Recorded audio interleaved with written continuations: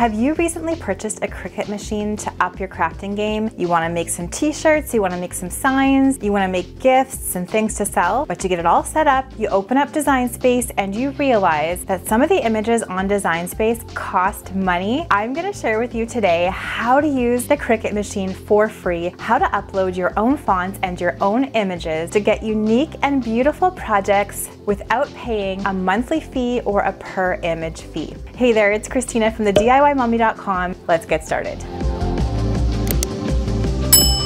First of all, are you new to Cricut cutting machines? Check out this video right here to learn all about the Cricut and how to use it. And then if you want to learn how to set it up from start to finish, I have a full video from unboxing to getting the Cricut working right here. Click on that. The following instructions are going to work for all the current Cricut models, Cricut Maker, Cricut Explore Air 2, Cricut Joy, the Explore Air 3, and the Maker 3 cutting machines. To begin uploading images to Cricut Design Space so you can create projects without making purchases, follow these simple steps. Number one, open up the Cricut Design Space app on your desktop computer or your mobile device. If you're new to Design Space, I also have a video on that, so click right here. Next, click on the New Project button on the top right of the screen. Then click on the Upload button on the bottom left of the screen. Click on the Upload Image button in the center of the screen, click Browse, and then navigate through your computer's or your smart device's folders to find the file you want to upload. I like to use JPEG or PNG files for this. You can also upload what are called SVG files, which can be used right away. Click on your file and then select the image type simple, moderately complex, or complex. And Design Space is going to walk you through exactly what each of these types mean. Then click Continue and remove the background of the image manually or with Cricut's automatic background removal feature. You can also crop any unwanted sections of the image on this screen. Next, click Apply and Continue and then choose if you want the image to be a cut image, which is when the Cricut will cut the lines, or if you want it to be a print then cut image, where you will print the design on a printer and then cut out the lines with your Cricut. Usually I'm creating cut images. Then click upload and your image will appear in your recent uploads folder. Finally, to insert your uploaded image into your new project, click on the image and then click Add to Canvas on the bottom right of the screen. There are a variety of places to find free images to bring into Cricut Design Space. Just make sure that you are able to legally use them for your project. Just check out the usages and rights for each image, especially if you're planning to sell your finished piece. In the description box below, I'm going to leave some of my favorite resources to find free images for Cricut. Some more tips for importing images into Design Space. Number one, SVG files are the easiest because they scale nicely and they're totally ready to go. No background removal required. Secondly, images with a lot of clear contrast always work best. And finally, so do images that are simplistic in shape. Complex images can be difficult to cut with Cricut. You can also design and create your very own images in your favorite design program. You could also draw something, scan it, save it to your computer digitally, save it as either a JPEG, PNG, or SVG file, and then import it the same way as you would a downloaded image.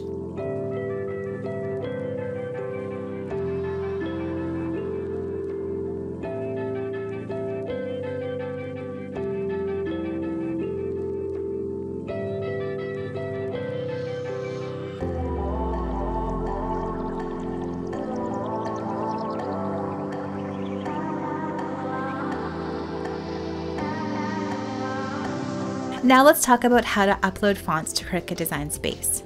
Cricut does have some simple free fonts available, but it's always fun to try different fonts for different craft projects. To begin uploading fonts to Cricut Design Space, first download the desired font you want to your computer.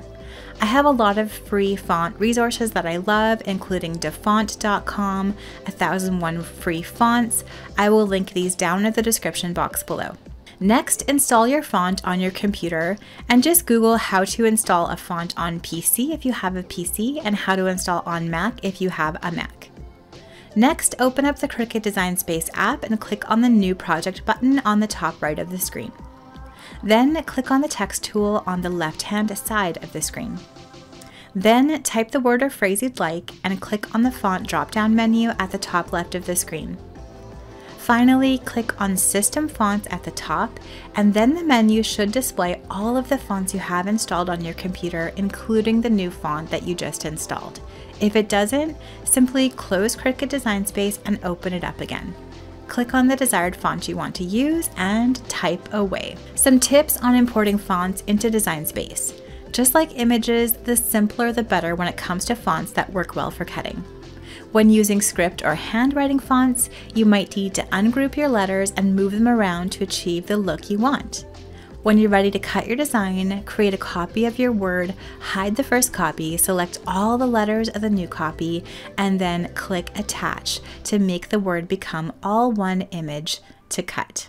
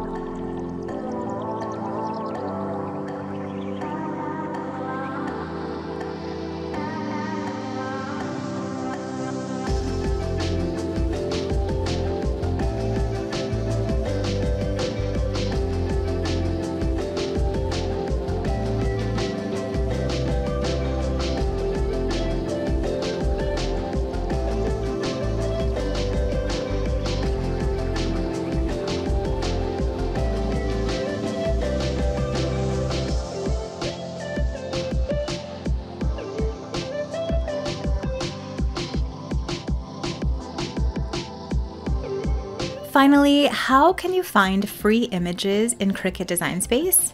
Yes, Cricut does offer free images in the Cricut Image Library in Design Space.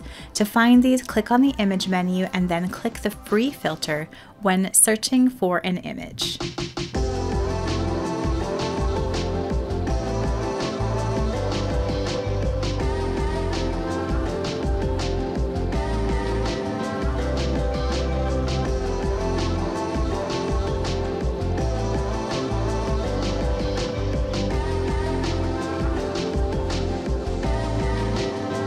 Thank you so much for watching today's video. I hope you found this info helpful.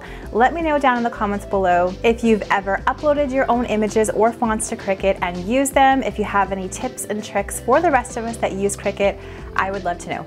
If you like this video, please give it a thumbs up, subscribe to my channel for more DIY and decor ideas on a budget. I'm gonna leave some more videos that I hope you will enjoy watching next right up here.